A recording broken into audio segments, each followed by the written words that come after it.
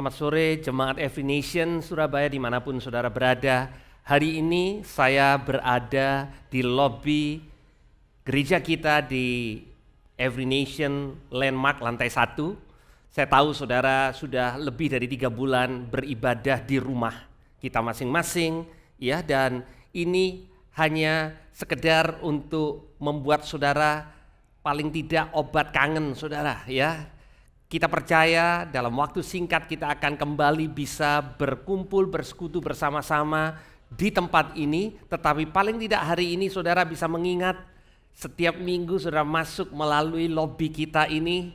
Dan hari ini saya ngajak saudara untuk uh, kita boleh menyembah Tuhan bersama-sama. Dan kembali saya akan membagikan renungan firman Tuhan yang akan menguatkan setiap kita. Mari kita berdoa Tuhan kami mengucap syukur Kembali kami diingatkan kebaikan dan kemurahan-Mu atas atas kehidupan kami. Engkau menjaga, memelihara kami dan pemeliharaanmu sempurna. Kami tahu Tuhan apa yang kami lewati tidak sempurna, jauh dari sempurna.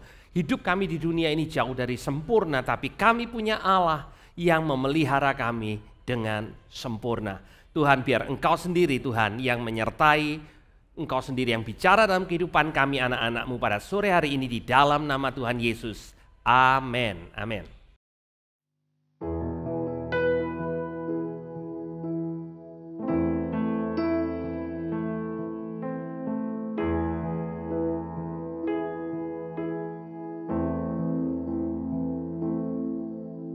Sungguh besar setiamu Kau nyatakan bagiku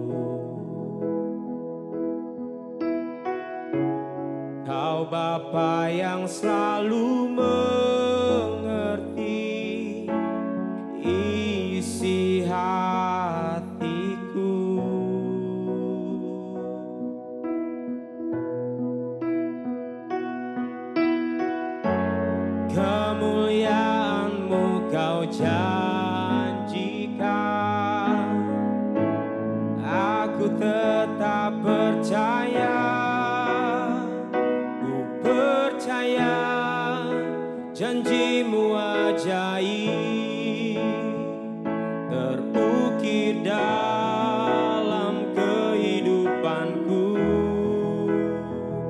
ku berserah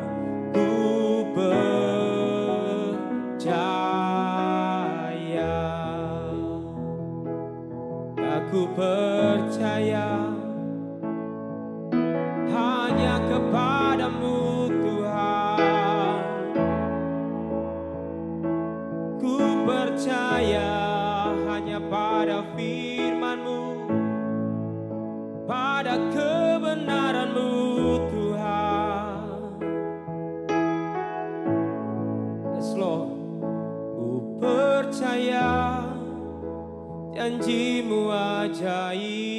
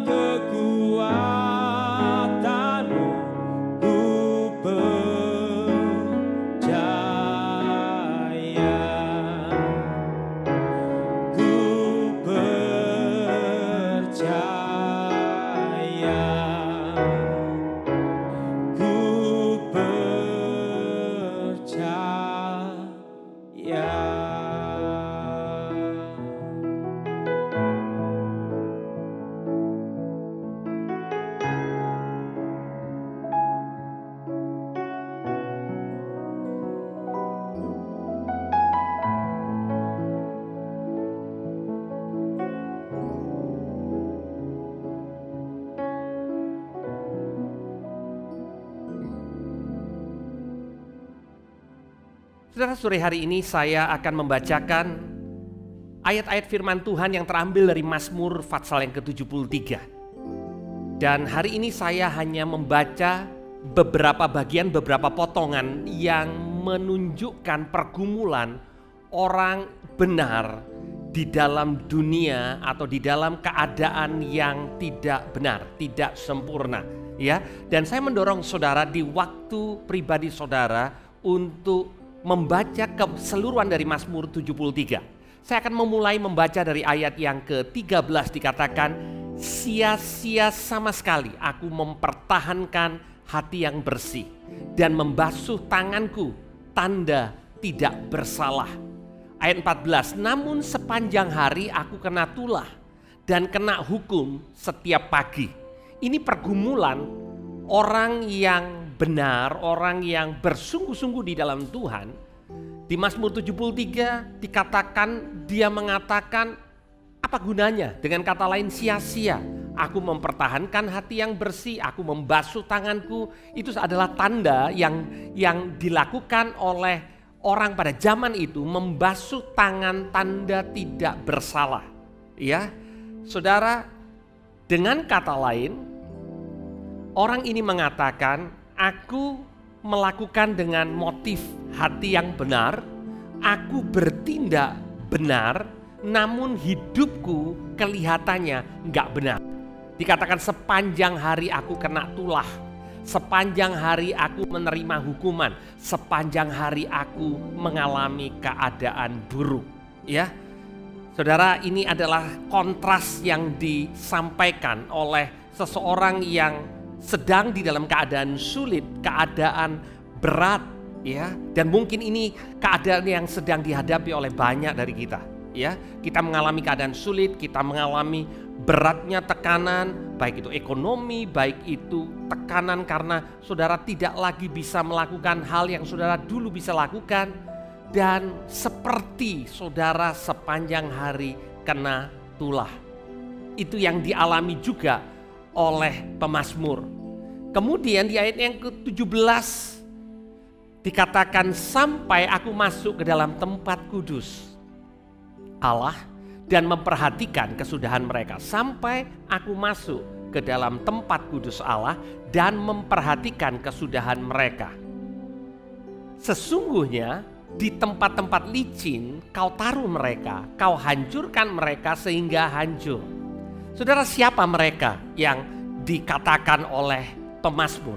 Siapa mereka ini? Mereka ini adalah orang-orang yang sepertinya hidupnya enak, hidupnya lebih baik, lebih mudah, lebih nyaman, lebih diberkati, lebih semuanya. Ya. Jadi ada orang benar yang hidupnya susah, Saudara. Ya, dan mungkin hari ini Saudara katakan ya itu seperti kehidupan saya hari ini.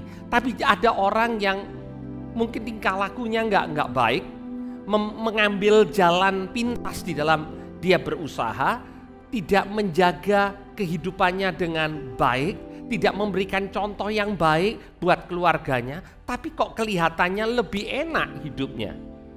Kalau kita salah dengan persepsi kita tentang keadaan yang ada di luar kita, maka kita akan mengatakan bahwa hidup saya sia-sia, ikut Tuhan itu sia-sia, mempertahankan yang baik itu sia-sia. Dan kemudian kalau kita kembali melihat ayat 17, ada kata sampai aku. Sampai apa saudara? Sampai aku masuk ke dalam tempat kudus. Sampai perspektif Tuhan dinyatakan dalam hidupku. Sampai aku melihat dengan cara Tuhan melihat. Dan dikatakan aku memperhatikan kesudahan mereka. Saudara, hidup ini bukan hanya saat ini Seringkali kita menilai dan memberikan konklusi tentang kehidupan kita hanya karena keadaan kita saat ini, sepotong. Ya, kita tidak melihat apa yang Tuhan lakukan dari awal sampai akhir, dan kita menyimpulkan, dan kesimpulan kita cenderung salah. Dan orang benar ini mulai memperhatikan dari tempat kudus Tuhan, mendapatkan perspektif yang benar, dan memperhatikan kesudahan mereka dan dikatakan sesungguhnya di tempat licin kau taruh mereka. Kau jatuhkan mereka sehingga hancur. Saudara, sering kali kita tidak melihat bahwa orang yang hidupnya sembarangan, orang yang menabur dengan semaunya sendiri, dia juga akan menuai kebinasaan. Saudara, kita nggak lihat karena perspektif kita terbatas.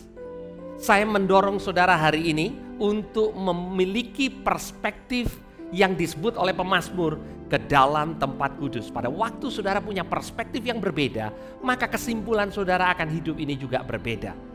Tuhan tidak mengatakan di dalam kehidupan kita bahwa kita ini dilindungi sehingga hidup kita semuanya nyaman. Perlindungan Tuhan yang kuat membawa kita melalui lembah kekelaman dengan penjagaan yang sempurna. Di Mazmur yang lain dikatakan Mazmur 23, sekalipun aku berjalan dalam lembah kekelaman. Artinya lembah kekelaman adalah lembah yang memang kita harus jalani. Tetapi kita tahu ada gada dan tongkat Tuhan, itu yang menghibur aku. Ada penjagaan Tuhan, pemeliharaan Tuhan, proteksi Tuhan yang jadi penghiburan buat kita.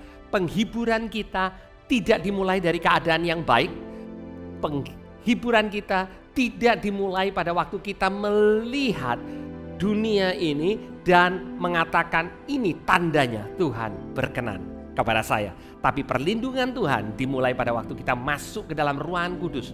Dengan kata lain perlindungan Tuhan dan damai sejahtera Tuhan itu kita rasakan begitu nyata sewaktu kita berada di tempat di mana Tuhan mudah untuk menunjukkan perspektif yang jauh lebih besar, yang jauh lebih komplit daripada apa yang kita lihat dengan mata jasmani kita setiap hari.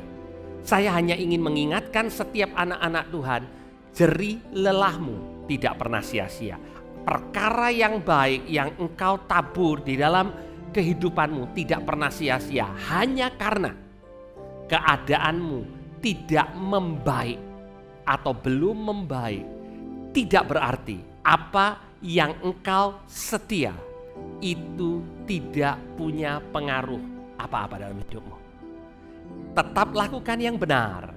Tetap fokus kepada Tuhan. Jangan menyerah, jangan undur, dan jangan gantikan posisimu dengan posisi orang-orang fasik yang saudara lihat lebih nyaman dari saudara. Karena kesudahan mereka Tuhan katakan itu adalah kebinasaan. Mari saudara kita satukan hati kita, kita berdoa. Tuhan kami mengucap syukur untuk firman-Mu. Biar renungan kami yang singkat pada sore hari ini mengingatkan kembali kepada kami. Hidup kami tidak selamanya mulus, Seringkali kami melalui badai, sering kali kami mengalami keadaan yang sulit, tapi kami tahu Tuhan bahwa Engkau tidak pernah meninggalkan kami dan apa yang kami lakukan tidak pernah sia-sia. Ajar kami Tuhan punya perspektif yang melihat Engkau di ruangan kudusmu. Kami boleh melihat bahwa Engkau melindungi kami dan Engkau juga menunjukkan kepada kami bahwa orang-orang yang sering kali kami anggap hidupnya nyaman, sesungguhnya tanpa Kristus mereka ada di dalam kesia-siaan. Tuhan terima kasih untuk sore hari ini kembali kami berdoa untuk kota dan bangsa kami. Tuhan belas kasihanmu atas kota kami, atas bangsa kami. Biar pemulihan terjadi Tuhan. Dan Tuhan kami berdoa biar engkau memberikan kesempatan kembali kepada kami anak-anakmu untuk kembali boleh bersama-sama memuji menyembah Engkau di tempat yang sama Tuhan dan kami boleh menikmati hadiratmu di dalam nama Tuhan Yesus. Haleluya. Amin.